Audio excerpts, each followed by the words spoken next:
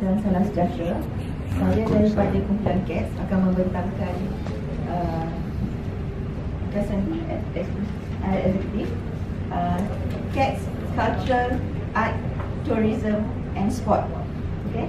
Uh, yang pertama ialah uh, yang kerangka yang pertama ialah perenggan yang pertama kita uh, maklumkan bagaimana dalam menetapkan KPI Jabatan Wilayah Kesenian Pelancongan dan Sukan untuk meningkatkan hasil penggunaan fasiliti sukan sebanyak 10% bagi setiap tahun.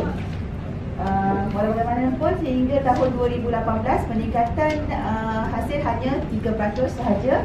Uh, sebenarnya itu Jabatan Pandangan uh, dengan adanya KPI ini kita akan mencari uh, solusi untuk meningkatkan uh, pendapatan uh, penggunaan fasiliti sukan.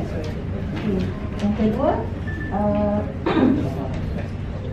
uh, untuk meningkatkan uh, pendapatan sukan ini kita uh, bercadang untuk mempromosikan uh, fasiliti sukan dengan menggunakan pelbagai aplikasi sosial. Di antaranya ialah uh, IG, Facebook, WhatsApp, uh, YouTube dan sebagainya. Um, uh, kaedah promosi ialah melalui aplikasi media sosial dengan uh, menyediakan satu satu uh, video ataupun uh, yang ber, yang berdurasi 30 ke 1 minit sahaja. Uh, dan sekali hasil hasil daripada inovasi ini uh, yang mana kita nak menggunakan fully utilized uh, fasiliti sukan yang dibuka daripada pukul 9 hingga pukul 12 malam yang mana pukul 9 hingga pukul 5 yang tidak digunakan digunakan sepenuhnya. Uh, dengan itu dapat meningkatkan hasil uh, 3.5% antara bulan April hingga bulan Julai. Maknanya setiap bulan kita target 3.5% hmm, tambah antara faedah yang diperolehi daripada uh, peningkatan hasil ialah pendapatan bertambah, pelanggan menikmati fasiliti sukan secara berterusan, uh, meningkatkan kualiti fasiliti sukan, maknanya bila duit dah ada kita boleh uh, menggunakan uh, duit tersebut untuk uh, meningkatkan pengurusan dan penyelenggaraan. Uh, dan fasiliti sukan di DBKL menjadi uh, uh, menjadi pilihan di antara pilihan pelanggan warga kota berbanding PBT-PBT yang lain. Okey. Uh, sebabnya kita cakap macam tu kenapa?